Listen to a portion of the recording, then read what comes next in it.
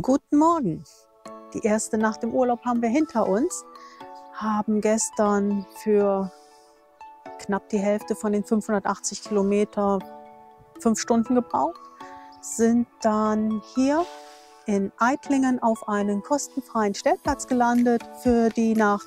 Wir stehen hier auf dem Stellplatz Venusberg in Eitlingen. Sehr, sehr ruhig. Einziger Nachteil, man hat etwas ländliche Gegend. Ab 4 Uhr kräht hier ein kräftiger Hahn und der kräht regelmäßig. Aber dafür haben wir einen super schönen Sonnenaufgang gehabt. Jetzt steht die Sonne schon etwas höher. Ansonsten gelegentlich ein vorbeifahrendes Auto. Aber es war ansonsten sehr, sehr ruhig. Das ist direkt gegenüber der Veranstaltungshalle. Veranstaltung hatten wir keine. So spät wie wir kamen, war die vielleicht aber auch schon zu Ende. Sind hier gegen elf gestern Abend angerückt und ja, konnten direkt hier drauf fahren. Du fährst praktisch an dem Parkplatz nicht in den Parkplatz rein, sondern folgst dem Schild Stellplatz und fährst hier auf diesen Rasen. Hinten an dem Baum ist der Kantenstein abgesenkt und da könnt ihr dann hier auf die Wiese drauf fahren. Keine Angst, die Wiese ist vom Untergrund her geschottert auf dem Erde aufgeschüttet wurde in einer dünnen Schicht, der sich dann halt wieder mit den üblichen Pflanzen bewachsen hat. Von daher, wir stehen hier mega fest. Morgens war es hier sehr tauig und ja, überhaupt keine Probleme, hier auch im Dunkeln sich hinzustellen. Keile muss man auch nicht unbedingt haben. Wir stehen so, hat alles funktioniert. Ich zeige euch jetzt noch vorne eben die Einfahrt und dann müssen wir aber auch schon weiter, weil wir haben nämlich unsere Tour geändert.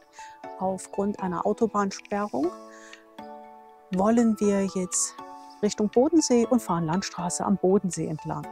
Naja, der endet ja auch an der alten Straße. Hier noch kurz unser Ausblick. Also wunderschöne Kulisse zum Frühstücken. Wer hier auch mal so nur sich hinstellen möchte, es gibt ein Radwege- und Wanderwegenetz.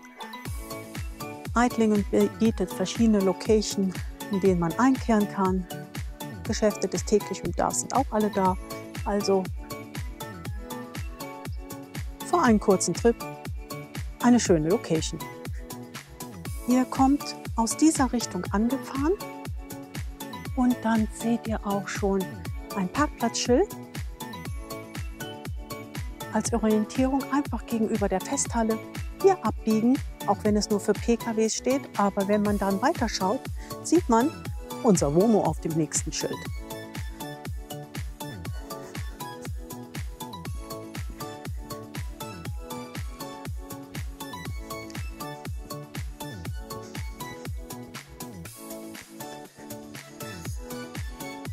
Hier die von mir beschriebene Absenkung des Kantensteins, also da könnt ihr relativ gut drüber fahren.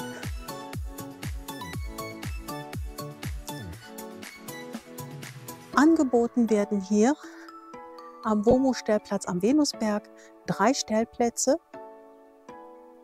Erlaubt sind drei Übernachtungen in der Zeit von April bis Oktober und kostenfrei.